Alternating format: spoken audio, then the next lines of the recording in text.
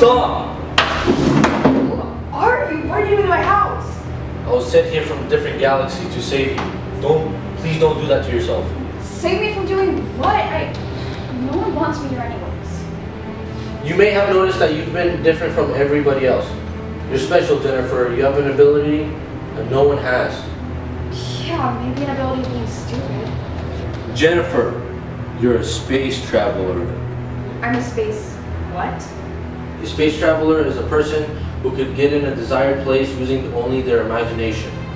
I'm sorry. Look, I think you are the wrong person.